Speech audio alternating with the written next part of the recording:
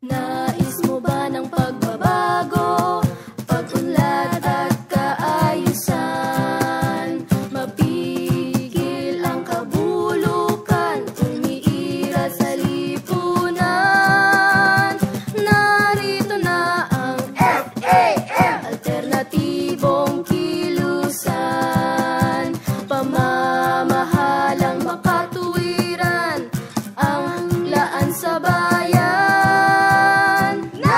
Narito na ang Filipino Alternative Movement.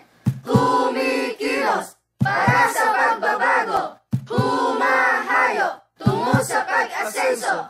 Makiisa na sa amin. Gamitin ang kakayahan.